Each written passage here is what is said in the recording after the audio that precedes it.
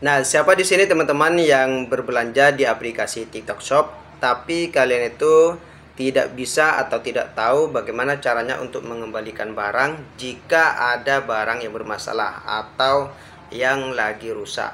Nah, di sini saya akan beritahukan kepada teman-teman ya, bagaimana sih caranya untuk kalian yang ingin mengembalikan barang jika barang yang kalian beli di aplikasi TikTok ini ada masalah Nah, sekarang banyak sekali ya teman-teman ternyata yang bertanya kepada saya bagaimana sih caranya untuk mengembalikan barang? Dan pada saat saya itu uh, barang saya terima ternyata saya pas cek di aplikasi TikTok Shopnya itu tidak ada menu yang namanya pengembalian barang Nah sebenarnya ada ya teman-teman ya. Cuman teman-teman itu tidak jeli Dan kalian tidak uh, memperhatikan pada bagian tiga titik tersebut. Nah nanti atau sekarang langsung saya akan bahas Bagaimana sih caranya untuk kalian yang ingin mengembalikan barang Di aplikasi TikTok Shop. Ayo langsung ke pembahasannya. Nah pertama-tama kalian itu buka aplikasi TikTok Shopnya. Setelah itu klik pada bagian shop ya. Silahkan klik pada bagian shop ini Nah, pada bagian shop di sini ada yang namanya pesanan ya, teman-teman ya. Silakan klik pada bagian pesanan.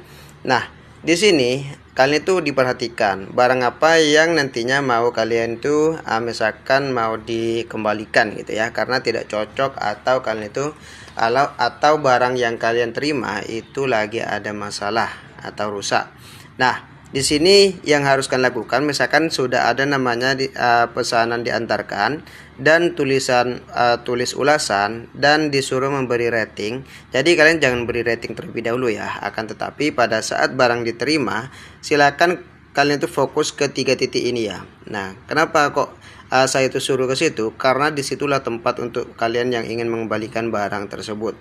Nah, silakan dibuka Nah, klik pada bagian ini, nanti akan ada tulisan ajukan retun atau pengembalian dana. Nah, silakan diklik pada bagian ini ya teman-teman ya.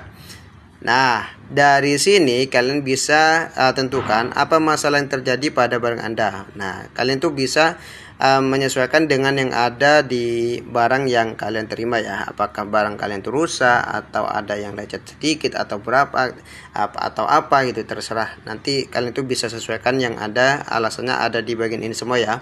Ada paket tidak diterima yang ini ya. Ada produk atau aksesoris hilang.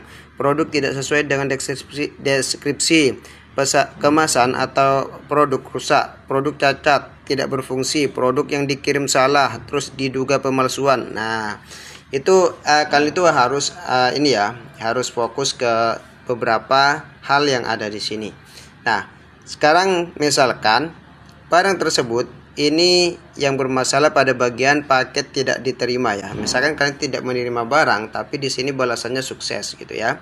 Balasan yang ada di sana tadi sukses. Jadi kalian tuh bisa klik pada bagian paket tidak menerima barang, terus setelah itu langsung lanjutkan ya teman-teman ya.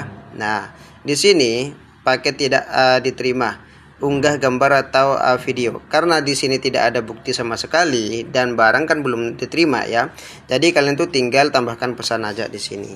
Saya belum menerima barang sama sekali. Tolong di cancel aja. Gitu aja ya. Nah setelah ini langsung kalian itu langsung klik lanjutkan. Nah nanti langsung akan ada seperti ini ya. Langsung uh, ada pengembalian dana seperti ini. Detail pengembalian dana. Nah langsung ada seperti ini. Terus klik ajukan ya teman-teman ya. Nah setelah kalian itu ajukan nanti sudah dipastikan akan ada pembalasan lagi dan uh, di balasan itu nanti kalian itu tinggal uh, balas saja ya apa yang di uh, apa diminta oleh mereka gitu aja ya. Nah, itu aja ya teman-teman. Saya cuman bisa uh, apa memberikan tutorial sampai ke sini aja ya. Karena takutnya nanti pada saat saya tuh klik ajukan nanti uh, benar-benar uang tersebut dikembalikan ke dana saya. Padahal ini memang barangnya memang sudah uh, datang ya. Dan ini cuma contoh saja untuk teman-teman. Nah itu ya. Jadi teman-teman yang misalkan ada masalah dengan pembelian barang atau barang kalian itu tidak diterima atau tidak menerima barang sama sekali yaitu caranya ya. Oke sekian. Semoga bermanfaat. Wassalamualaikum warahmatullahi wabarakatuh